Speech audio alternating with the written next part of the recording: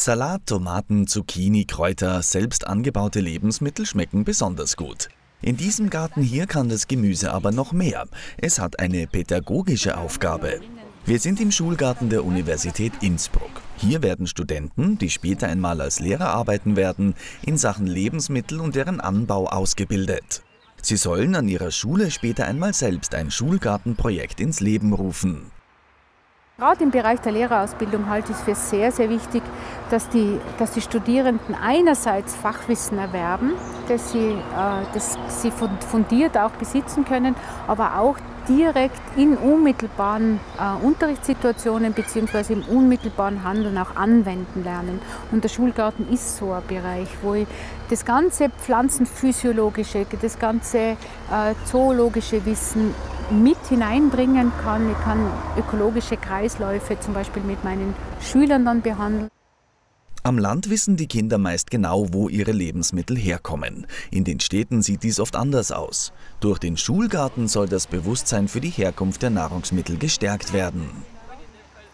Wir haben Studien dazu, die deutlich zeigen, wenn Kinder selber in einem Schulgarten zum Beispiel arbeiten oder sehen, wie diese äh, Nahrungspflanzen zum Beispiel wachsen, essen sie selber gern äh, oder mehr Gemüse, vielfältigeres Gemüse und sie essen auch gesünder. Also das heißt, ich kann einerseits Fachinhalte aus der Biologie, Umweltkunde, Artendiversität, äh, Aufbau einer Pflanze im Schulgarten machen auf der einen Seite, aber ich kann auch Ernährungslehre im Schulgarten machen und ich kann die Kinder auch anhalten, selber aktiv zu werden und zu sagen, okay, ich kümmere mich selber dann auch ähm, in der Zuhause zum Beispiel drum. Derzeit werden im Schulgarten nur Lehramtsstudenten unterrichtet, die Biologie als eins der beiden Fächer haben. Das soll sich aber ändern. Unterrichtsmöglichkeiten gibt es in einem Schulgarten viele. Auch andere Fächer können eingebunden werden. Einer der Studenten hat als zweites Fach Mathematik. Wie eine Ellipse konstruiert wird, kann auch im Garten erklärt werden, mit dem Anlegen eines ellipsenförmigen Beetes zum Beispiel. Ja, die Ellipse ist ja definiert als die Menge aller Punkte, die in Summe den gleichen Abstand von den beiden Brennpunkten haben. Und das kann man im, im Schulgarten sehr gut umsetzen.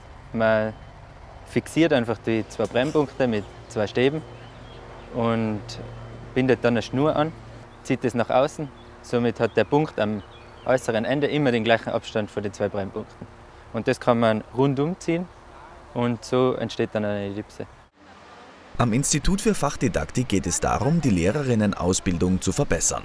Bei der Vorlesung im Grünen geht es auch darum zu verstehen, wie dieser Teil der Ausbildung dazu beitragen kann, später Wissen an die Schüler optimal zu vermitteln.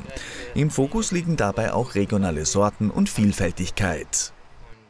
Es braucht auch ein Verständnis dafür, dass, dass bestimmte Sorten an bestimmten Plätzen besser wachsen wie an anderen. Im Rahmen der Forschung der Universität Innsbruck ist am Forschungsbauernhof in Inst ja eine, eine eigene Forschungsgruppe mit der Landesregierung, mit der Gruppe Agrar gemeinsam, die draußen ihre Anpflanzversuche haben zu regionalen Sorten. Mit denen arbeiten wir zusammen, weil wir möchten auch, dass, dass künftig Lehrer, Lehrerinnen da Interesse haben, in ihren eigenen Schulgärten regionale Sorten anzubauen. Einerseits, weil es vielleicht besser schmeckt, aber auch andererseits, weil sie einfach an bestimmte Situationen besser angepasst sind.